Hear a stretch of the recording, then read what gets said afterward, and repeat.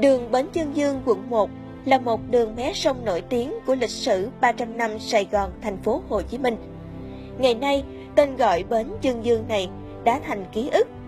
Khi thành phố sắp nhập một loạt các con đường ven sông Bến Nghé lại làm một và đặt tên mới là đại lộ Võ Văn Kiệt.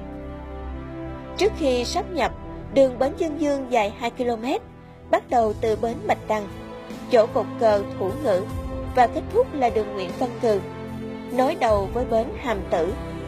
Cùng với đường Hàm Tử, đây là giải đường hiếm hoi tại thành phố Hồ Chí Minh, mang tên địa danh miền Bắc. Tên gọi bến Dương Dương có từ ngày 22 tháng 3 năm 1955 sau sắc lệnh đặt tên đường của chính quyền Việt Nam Cộng Hòa.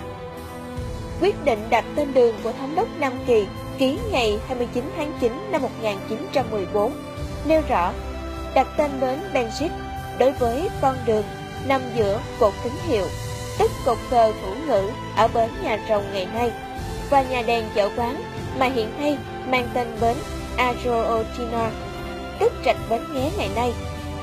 Như vậy, trước đó, tên đường được lấy theo tên dòng sông, đồng thời cho đến năm 1914, các ranh giới địa lý cùng chiều dài của con đường vẫn không thay đổi so với thập niên 90 gần đây.